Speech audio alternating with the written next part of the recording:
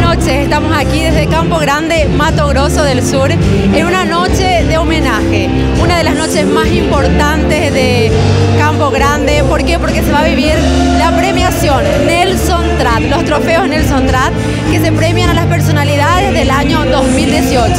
Las grandes revelaciones entre políticos, periodistas y también lo que nos sorprende y nos trae a todos aquí, eh, la premiación de Urandir Fernández de Oliveira, presidente de DAC la Pesquisa.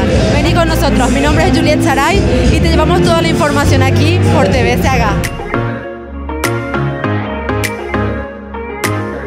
Estamos aquí desde el Gran Mer con Vincent Bromar, uno de los representantes de Bolivia que está esta noche en este homenaje, Vincent. Latinoamérica este homenaje al presidente de la Asociación de Aquila Pesquisa, Jurandir Fernández de Oliveira. Muchas gracias, buenas noches. Eh, es un evento, otro evento especial.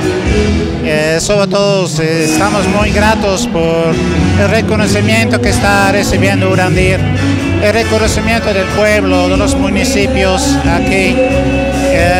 Eh, eso es un comienzo. Urandir va a empezar a hacer un giro por el exterior. Ya hizo su primer palestra en, en, Paraguay y hemos visto, hemos, nos ha sorprendido la buena recepción que ha recibido. Entonces, eso es una premiación más. Yo creo que vamos a ver, eh, eso es el comienzo de, de, muchas más premiaciones, pero a partir de acá en el exterior. Después entonces para Dáquila. Sí, es, una, es un tema muy importante para Dáquila, para todos nosotros. Eh, la premiación se le da a Urandir, pero es una premiación al trabajo de todos nosotros y eh, para el futuro, para, para lo que tiene Dáquila a, a presentar al mundo, ¿no?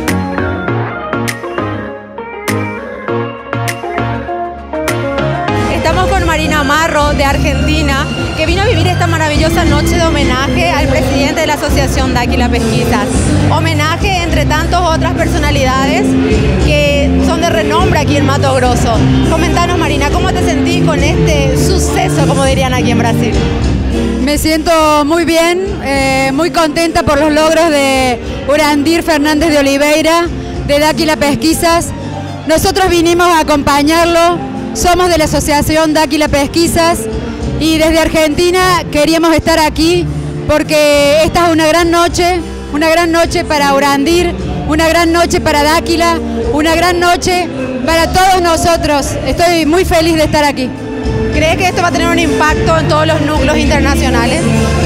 Creo que el impacto va a ser cada vez mayor, los homenajes van a crecer, estos son los primeros homenajes y va a haber muchos más por toda la pesquisa, por toda la búsqueda de conocimiento de Dáquila, por todo el reconocimiento que merece Urandir y todo Dáquila Pesquisas.